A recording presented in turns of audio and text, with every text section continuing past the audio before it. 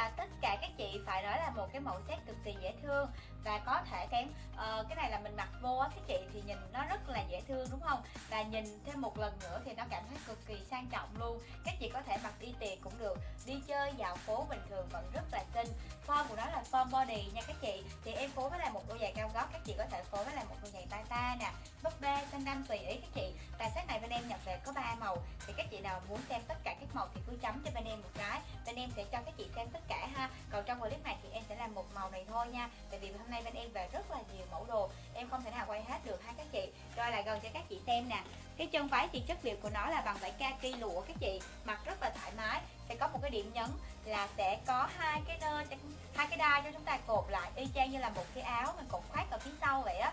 Rồi bên đây nó sẽ là một cái, có xếp ly cho các chị nè. Đó, nó sẽ có một như thế này. Rồi mình mặc vô á, tại cảm giác cái chân của mình nó rất là dài luôn các chị?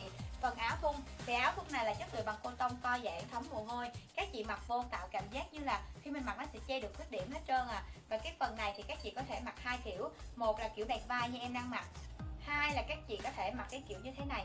Không lệch vai cũng được nha. Lệch vai thì nó sẽ nhìn nó sẽ cá tính hơn một tí xíu. Hoặc các chị có thể lệch vai bên nào tùy ý các chị. Có tay che được khuyết điểm luôn. Màu xanh cực kỳ ngọt ngào các chị. Xoay một vòng cho mọi người xem nè. Dễ thương ha. Bên hông sẽ là ngắn lên. Cảm giác chân mình nó dài cực kỳ luôn. Set này bên em có 3 màu tổng cộng. Chị nào ưng thì gửi ngay mã sản phẩm số điện thoại cho bên em. Các chị khoảng 55 57 cái đồ lại là mặc vừa rồi nha.